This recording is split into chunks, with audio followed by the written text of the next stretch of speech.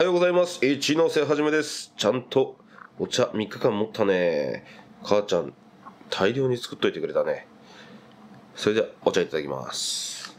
Google、今日の天気は？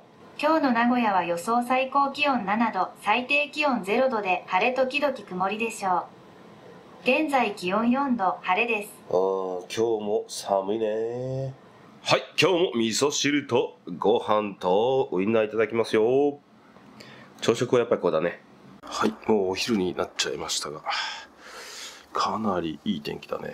風は冷たいけど日差しがあるから暖かい。ちょっとブラブラしていきたいと思います。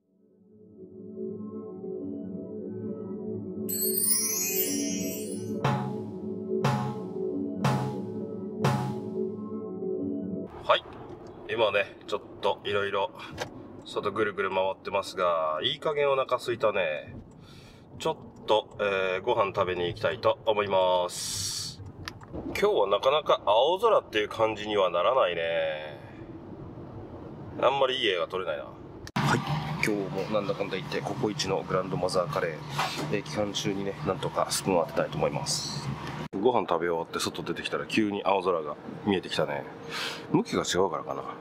とりあえず今日もココイチのスプーン当たりませんでした。残念。それでは帰ります。午後は母ちゃんたちと一瞬合流してね、今、大須に向かってます。ねえ、たけ。それでは、大須で美味しいもの食べたいと思います。はい、大須到着しました。いつもの駐車場。また来たよ。うん。母ちゃんのテンションはバリバリ上がっております。フォーが食べたいの？はい、大須に来たら毎回最初に、このたこ焼きをいただきます。ピントが合わない。来た。来た。これがいつもの大須の最初のメニュー。はい。さあ、最初の最初の一口どうでしょうか。めっちゃ湯気出てる。絶対やけどするやつだ。熱い。よ。い。ただきます。どうバリバリ、美味しい。バリバリ、バリバリ。バリバリって美味しいのか。美味しい。フルッタジフルッタにやってきましためちゃめちゃ美味しそうなフルーツが並んでるこれがね一番我が家が大好きなデコポンだねあのいちごもでかいねでもさらに大きいイチゴ。おお紅ほっぺ色はこっちの方が綺麗だなはーいさっき映してたデコポンジュースだけど美味しい？はい。えーとねさっきのフルッタンジフルッタのとこからちょっと来たところにねこの道のく屋さんがあってこう外でねこう牡蠣を蒸してね、えー蒸しとか生とかねこう外に座って食べれます。はいなんかテールスープがね角で売ってます。母ちゃんが早速買ってる。めっちゃうまそうですねこれ。あったかそう。どうぞの飲んでください。ただきます。はい。母ちゃんどう？美味しい、美味しい。くたくた、これ安い。くたくた。牛肉の味もする。美味しい。牛肉の味。ああ、はい、温まった。はいなんか溶岩焼きのステーキ屋さんやっぱりステーキができてる初めて見たなここすごいな立ち食いみたいな感じ？あ、あお値段も結構安いねうん子供たちのテンションも上がってますねじゃあ入ってみようかえー、ここタッチパネルで注文するんだね。どれかしら。やっぱり定番のサーロイン。うんヒレ？赤身？赤身がいいな。子供は？赤身がいいな。赤身？ヒレじゃなくて？赤身？うん赤身。赤身？ね買い肉システムすごいね。え。あれ、ごめんなさい。おすげえあそこで溶岩プレートで焼かれてる。もうセットでねご飯とサラダが最初からついてるみたい。うまそうこの買い肉システム母ちゃんが一番喜んでる、はい登場した。これこれどうしたらいいの？いくよ。いくよ。いくよ。ほっじゃーん。すげえでかっ。母ちゃんが取り分けてくれますよ取り分けるか。こうやってよ。どうなってる？この筋の向きを確認しないとね。筋の向き、わかんない。わかんないあ、そっちだ。わかった。じゃーん。お箸お箸ねじゃあまずは塩コショウだけでいただきます。はい、めっちゃなんかレアです。子供たちももりもり食べてる。すげえ持ち帰り用のセットもある。はい、やっぱりステーキさんね食べたらねめっちゃ美味しかったね。はい、ステーキを食べ終わってね今日の母ちゃんのメインの目的地フォーを食べに移動したいと思います。はい、チキンフォー、これ母ちゃん頼んだやつね。めっちゃ僕の苦手なパクチーの匂いがする。そしてさらに、おさらに追いパクチーと、なんか、なんか柑橘系のやつもあ入ってるんで。りがとうごめんなさいありがとはい、二品目は、揚げ春巻き。これ中何が入ってんだろうね。う何これ初めて食べるね。大須の仁王門通り。今日なんかね、この招き猫のところライトアップされてるね。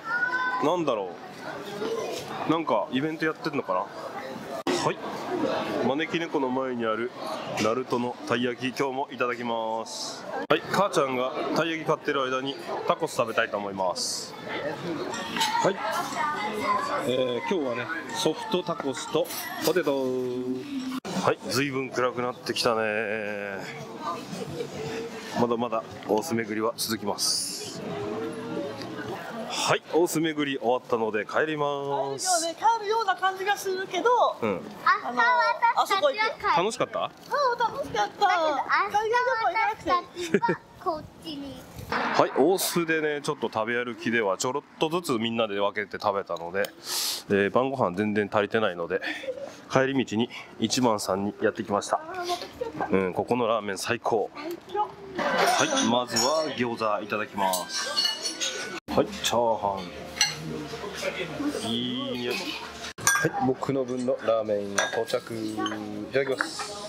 した、美味しかったね。それでは帰ります。はい、お家帰ってきました。母ちゃんたちはね、おあの、母ちゃんの実家にまだ今日一泊するということで、今日はね、お袋さんこっちに連れてきて、大須巡りをさせたいということで、僕が、えー合流して、ちょっといろいろ連れて、えーアテンドしてみました。でね、帰ってきたらね、こんなものが届いてました。これね、何かというと、えードリキンさんも先日買ってましたが、オズモポケット用の ND フィルターです。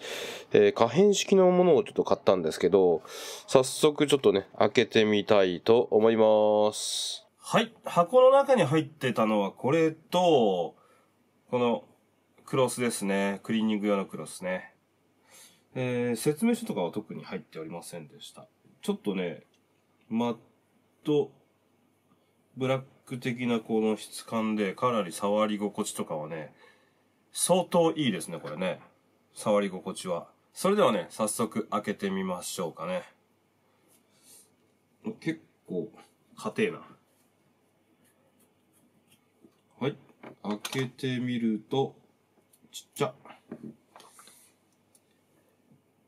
こんな感じの ND フィルターが入っております。これはね、ここをくるくる回すと、あの、なんていうのかな ?ND1 っていうの？これ F ND8 とか16とか32とかそういうね、あの固定式のやつじゃなくて、ここの回すことによる可変式の ND フィルターになるので、えー回してね、調整することができます。それではね、早速このオズモポケットに取り付けてみたいと思うんですけど、はい。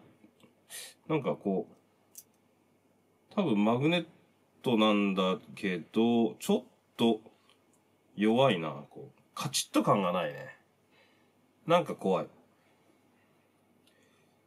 うん、ちょっと、ちょっとマグネットが弱いな。他、他もこんなもんなのかな？まあ、とりあえずちょっと電源入れてみましょうか。うん、どこにも干渉することなく、とりあえずは装着できてますね。で、まあ、見た感じこれ、ね、ちょっと、サングラス感がかなりあって、いいんじゃないでしょうか。特にね、こう、激しくこう振り回しても、うん、落ちないね。いい感じ。で、ここ、こう触って軽く動くんで、ジンバルにね、こう、干渉すること、干渉っていうかこう、モーターに負荷をかけることなく、こう、スッとこう、回せるので、いいですね。あ、だいぶこれ変わるね。調整かけると。ただこれ、結構スッと動いちゃうんで、ポケットに入れた時にね、どんどんずれてっちゃうんで、設定をそのまま保持しておくのはなかなか難しいかなと。今、触ってみて思う感想はそこですね。とりあえずまあね、この状態で、えー明日一日ね、えー GH5 を使わずに、この ND フィルターをつけたオズモポケットで一日撮影してみたいと思っておりますので、まあね、明日の Vlog 良ければ見てやってください。というわけで今日はこんなところで終わりたいと思います。また次の動画でお会いしましょう。またね。バイバイ。